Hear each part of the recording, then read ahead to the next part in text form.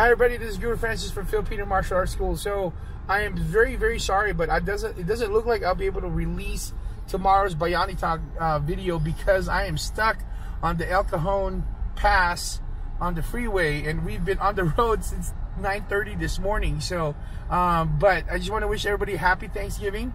Uh, by the time you guys watch this, it'll be hopefully I'll be home and I've uploaded it. But I just wanted to say happy Thanksgiving to everybody. I'm sorry that I didn't get a chance to to get to properly greet everybody, but I wanted to say thank you.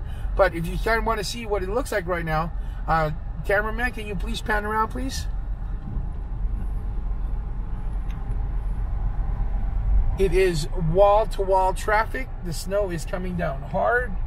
Um, and we've been on the road, like I said, since uh, 9.30 this morning. We're, we're running into a 12-hour drive now. And we still have a minimum, we still have a minimum of two-hour drive. So uh, pray for us. Well, hopefully by that time you watch this video, um, it's already on, um, we're already home because I would have uploaded it.